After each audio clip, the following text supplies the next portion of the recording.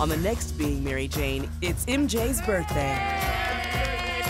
But she's the one delivering the surprise. I had an abortion. You did what? Being Mary Jane, Tuesday at 10, only on BET. We got you.